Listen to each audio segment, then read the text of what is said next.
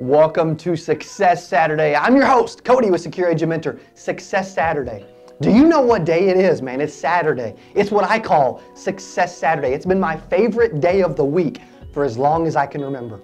Because when they're sleeping, I'm grinding, baby. When other agents aren't in the office and they're not working on Saturday, I'm getting ahead. Not only am I outworking them throughout the week, but when you add and you compilate a few hours on Saturday, I'm telling you what, if I, if I average five hours a day on Saturday for 50 weeks of the year and you don't, that's 250 hours that I added.